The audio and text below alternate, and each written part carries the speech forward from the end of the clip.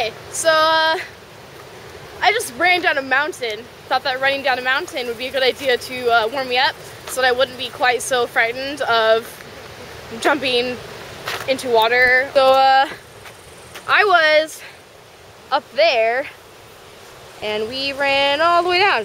Uh, so that was super fun. Lynn and I are very tired. I'm gonna change and go find water to dump on me and I will see you then. I was challenged to the ALS Ice Bucket Challenge by Joel Kaler and Matthew Vinson. Thanks guys. Um, so we're in Europe where they don't really have ice or buckets big enough to really do anything with. They're basically glasses of water. So um, we're in Switzerland and I am in a glacier lake because that's the only body of water big enough to do anything with.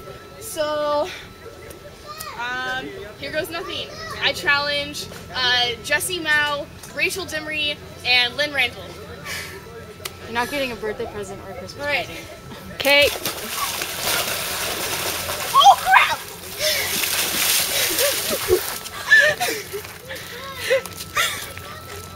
Alright guys, I expect ice or very cold water